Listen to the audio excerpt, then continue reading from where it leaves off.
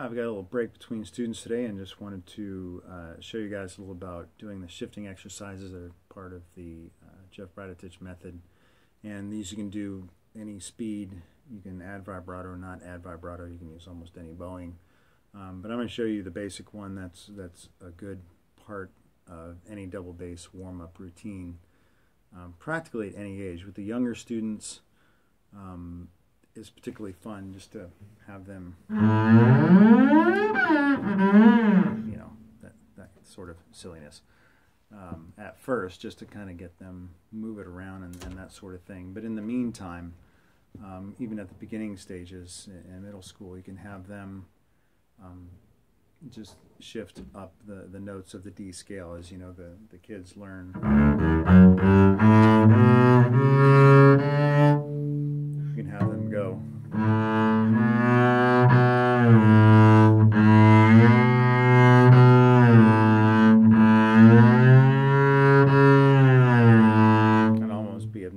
Dramatic with the smear.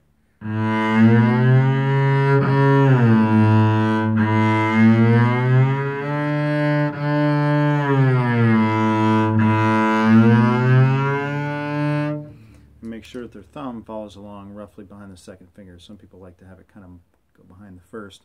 Depends on uh, a lot of times eventually on the size of bass that you use. A lot of people who play larger basses, unlike myself, like to use the thumb behind the first finger. There's really no wrong way because almost every bass is crafted differently as it is. My own personal bass is a Herman Lowendahl from um, 1890, uh, made in Berlin, and it's a solo parlor size so it's a bit odd. So when I'm out teaching, I usually run for the three-quarter size basses. I don't really, um, you know, run for the big, massive, uh, full-size with extension. The whole those things just feel humongous to me. So anyway, that said, so I'm going to show you a run, uh, just a one-to-one -one shift up A major, and uh, as you get into you know the advanced stages uh, with the youngins you can go through the one to one, you can go one to two, one to four, and of course, once you get past up F natural, uh, F sharp area, that's really want I kind of start really just using third because you just run out of space basically. So, anyway.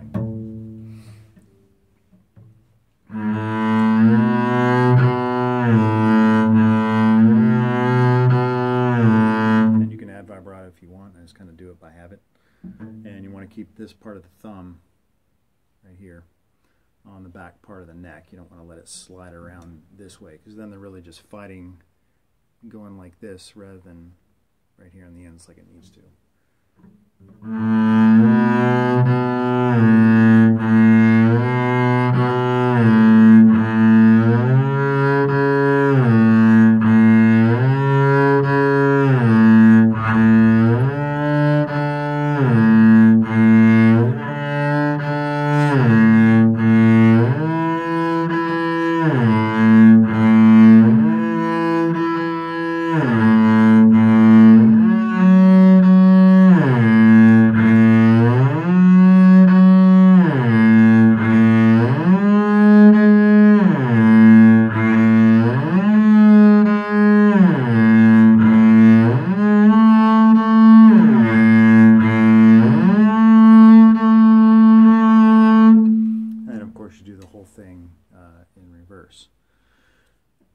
Next one would be 1 to 2. And there's really no exact, well, when do I smear out of one note into the next one? When do I really drop the finger one way or the other? Um, for some people, they might have figured out a mathematical formula. formula. I just kind of, I don't know, I just kind of do a feel for it.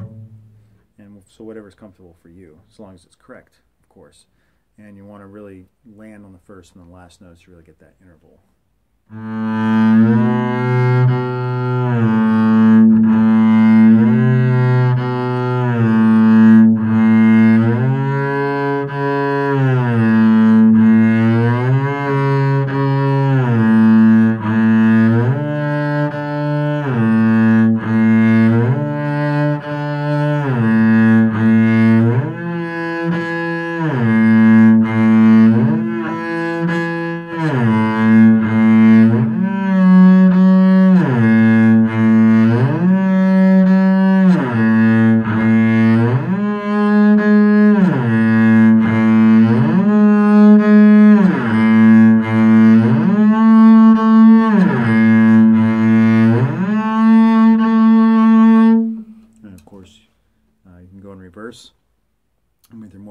Students, you know, on into high school, then of course you keep going the next octave, the next octave, the next octave until you just run out of room. So uh, the next one is one to four. Obviously, the first two notes, there's nothing to smear to. It's just one to four. But after that, you have that uh, little bit of movement there.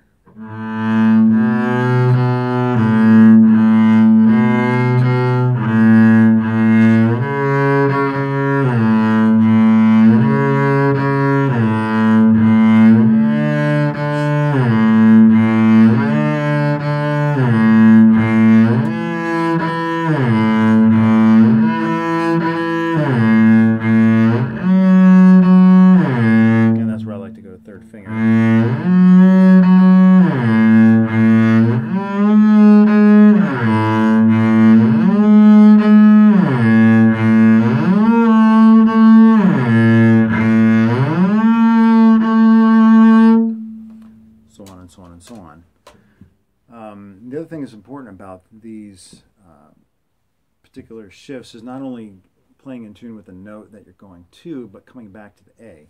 You can always find that by having this open A string ring. Okay, and I believe in the newer edition of the Bradetich method books, I believe all these shifts and run are done in B flat. Uh, I'm not exactly sure. I'd have to double check on that. I don't remember. It's been a while. But anyway, coming back to this A is so important.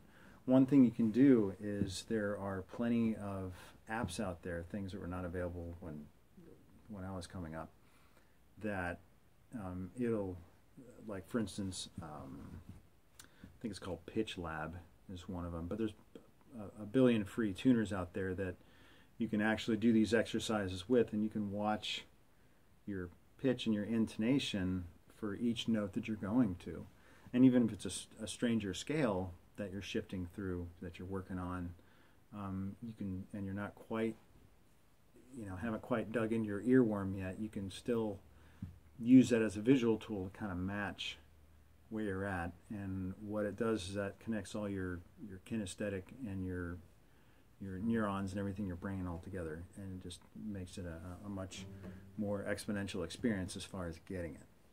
For example, that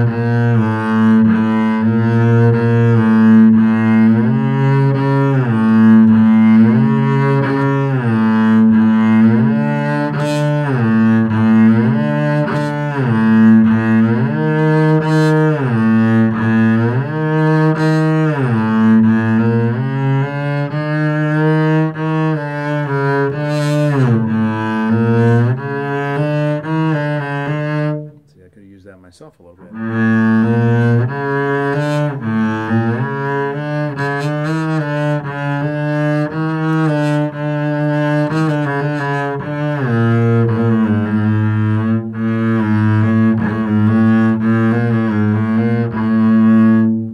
wherever it may be. And of course, you can do these these shifts all up all the different strings. It's really good to get comfortable on at least these two strings, particularly in the G right away um, when you're doing these things. But anyway, so that's kind of everything in a nutshell. Just to have an idea of uh, how these things work and uh, how I try to go about teaching them and, and helping the, the younger students with those. And it's a blast and it's enjoyable, and we'll see you next time.